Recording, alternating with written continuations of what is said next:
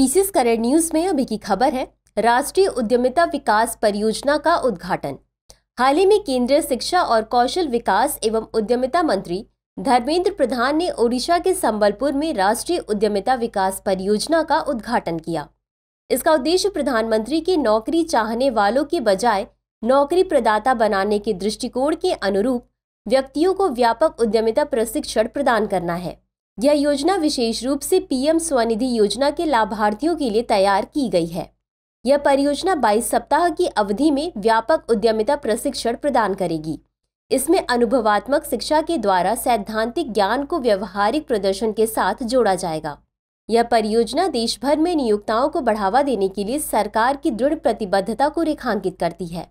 इस परियोजना को राष्ट्रव्यापी बल देते हुए इसे भोपाल, कानपुर, इंदौर, वाराणसी भरतपुर, शिलोंग, सिलचर, डिब्रूगढ़ और गुवाहाटी सहित नौ शहरों में लॉन्च किया गया है।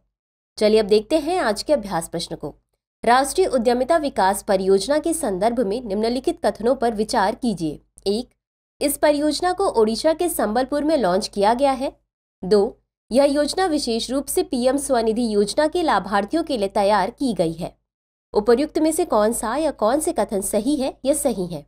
ए केवल एक, बी केवल दो सी एक और दो दोनों, डी न तो एक और न ही दो।